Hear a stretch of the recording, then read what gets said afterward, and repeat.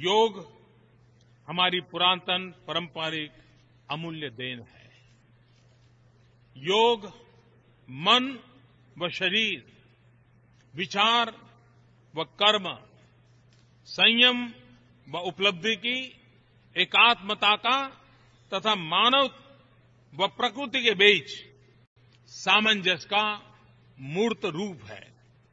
यह स्वास्थ्य व कल्याण का समग्र दृष्टिकोण है आइए हम एक अंतर्राष्ट्रीय योग दिवस को आरंभ करने की दिशा में कार्य करें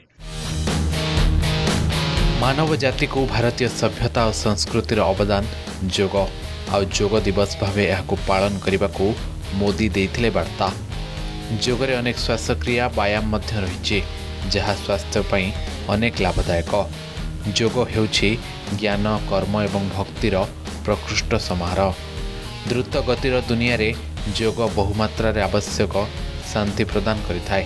ଯୋଗ ଦିବସ ପାଳନ କରିବାକୁ ସମସ୍ତଙ୍କୁ ପ୍ରଧାନମନ୍ତ୍ରୀ ମୋଦିଙ୍କ ଅନୁରୋଧ। ଜୁନ୍ ଏକୋଇଶ ତାରିଖ ବିଶ୍ୱ ଆନ୍ତର୍ଜାତୀୟ ଯୋଗ ଦିବସରେ କର୍ଣ୍ଣାଟକର ମାଇସୁର ପ୍ୟାଲେସ୍ ଗ୍ରାଉଣ୍ଡରେ ପ୍ରଧାନମନ୍ତ୍ରୀ ନରେନ୍ଦ୍ର ମୋଦି ଏକ ବଡ଼ ଯୋଗ କାର୍ଯ୍ୟକ୍ରମର ନେତୃତ୍ୱ ନେବେ। ମୋଦିଙ୍କ ସହିତ ସାମିଲ ହେବେ ପନ୍ଦର ହଜାର ଯୋଗାଭ୍ୟାସ କରୁଥିବା ବ୍ୟକ୍ତି। କରୋନା ମହାମାରୀ କାରଣରୁ ଦୁଇ ବର୍ଷ ଧରି ବନ୍ଦ ରହିଥିବା ଏହି କାର୍ଯ୍ୟକ୍ରମ ଫିଜିକାଲ ମୋଡ୍ରେ ଅନୁଷ୍ଠିତ ହେବାକୁ ଯାଉଛି। ଚଳିତ ବର୍ଷ ଯୋଗ ଦିବସର ଥିମ୍ ରହିଛି ୟୋଗା ଫର୍ ହ୍ୟୁମାନିଟି ଅର୍ଥାତ୍ ମାନବିକତା ପାଇଁ ଯୋଗ। ଏହି ଯୋଗ ଦିବସ ଅବସରରେ ପଚସ୍ତରୀଟି ଐତିହାସିକ ସ୍ଥାନରେ ପଚସ୍ତରୀ ଜଣ ମନ୍ତ୍ରୀ ସାମିଲ ହେବେ। କେନ୍ଦ୍ର ଶିକ୍ଷାମନ୍ତ୍ରୀ ଧର୍ମେନ୍ଦ୍ର ପ୍ରଧାନ ହିମାଚଳ ପ୍ରଦେଶ କାନଗ୍ରା ଫୋର୍ଟରେ ଯୋଗ କରିବାର କାର୍ଯ୍ୟକ୍ରମ ରହିଛି। ସେହିପରି ଗୃହମନ୍ତ୍ରୀ ଅମିତ ଶାହା ମହାରାଷ୍ଟ୍ର ନାସିକର ପ୍ରସିଦ୍ଧ ଜ୍ୟୋତିର୍ଲିଙ୍ଗ ତ୍ରୟମ୍ବକେଶ୍ୱରରେ ଯୋଗ କରିବାର କାର୍ଯ୍ୟକ୍ରମ ରହିଛି। ଓଡ଼ିଶାର ତିନୋଟି ସ୍ଥାନରେ ପାଳନ ହେବାକୁ ଯାଉଛି ଅନ୍ତର୍ଜାତୀୟ ଯୋଗ ଦିବସ। ପୁରୀରେ ମହେନ୍ଦ୍ରନାଥ ପାଣ୍ଡେ କୋଣାର୍କ ସୂର୍ଯ୍ୟ ମନ୍ଦିର ପରିସରରେ ଅଶ୍ୱିନୀ ବୈଷ୍ଣବ ଏବଂ ଆଦିବାସୀ ରାଷ୍ଟ୍ରମନ୍ତ୍ରୀ ବିଶ୍ୱେଶ୍ୱର ଟୁଡୁ ଖିଚିଙ୍ଗରେ ରହି ଲୋକଙ୍କୁ ଯୋଗ ବିଷୟରେ ଉଦ୍ବୋଧନ ଦେବେ। ସେହିପରି ସମଗ୍ର ବିଶ୍ୱରେ ସତୁରିଟି ଦେଶ ଅଂଶଗ୍ରହଣ କରିବାର ସମ୍ଭାବନା ରହିଛି। ଭାରତରେ ବର୍ତ୍ତମାନ ଆମର ଏଇଟା ବହୁ ପୁରାତନ।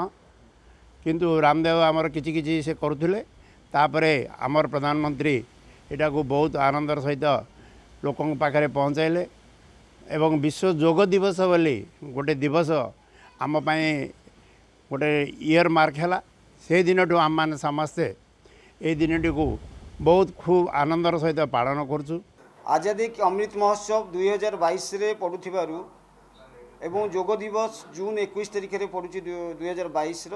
সেইদিন আমি পঞ্চস্তরীটা আইকনিক প্লেসেস ঐতিহ্য স্থানরে মাননীয় প্রধানমন্ত্রীঙ্ক ডাইরেক্ট তত্ত্বাবধানরে পঞ্চস্তরীটি আইকনিক প্লেসরে আমি যোগ বিশাল ভাবে যোগর প্রচার প্রচার হব সেই জায়গায় যোগ সমারোহ রহব দেখুন ভারত হচ্ছে যোগর প্রাণকেন্দ্র বাইশশহ বর্ষ যে ইতিহাস তাকে আজ ଏହି ସରକାର ଏହି ନରେନ୍ଦ୍ର ମୋଦି ସରକାର ତାକୁ ପ୍ରଚାର ପ୍ରସାର କରିଛନ୍ତି ତାଙ୍କୁ ସାଧୁବାଦ ଦେବା ଛଡ଼ା ଆଉ କିଛି ନାହିଁ ଆଜି ବିଶ୍ୱ ସ୍ତରରେ ବିଭିନ୍ନ ଡାକ୍ତରମାନେ ବି ମଧ୍ୟ କହୁଛନ୍ତି ଯୋଗ ହେଉଛି ସବୁଠାରୁ ମେଡ଼ିସିନ ଠାରୁ ମଧ୍ୟ ବହୁତ ଉପଯୋଗୀ।